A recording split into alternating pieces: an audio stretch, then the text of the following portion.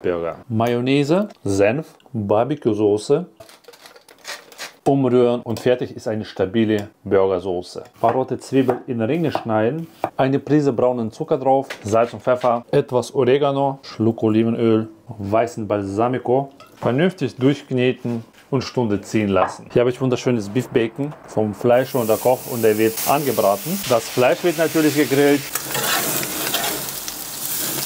Und wir machen Cheeseburger, also jede Menge Käse. Ich glaube, ich habe genug. Ein Traum und in das Fett kommen diese wunderschönen Burgerbrötchen für den maximalen Geschmack.